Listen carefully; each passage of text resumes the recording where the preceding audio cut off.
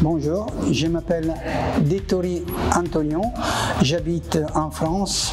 J'ai eu quelques renseignements euh, de quelqu'un qui est déjà venu ici. Pour l'instant, je viens d'arriver, euh, où je suis logé l'hôtel euh, très propre, bien accueillant. Mona, la, la femme qui s'occupe de me suivre, de m'aider, tout ça, elle est parfaite. J'ai rien à dire. Donc, que de positif pour l'instant. Donc, on verra la suite.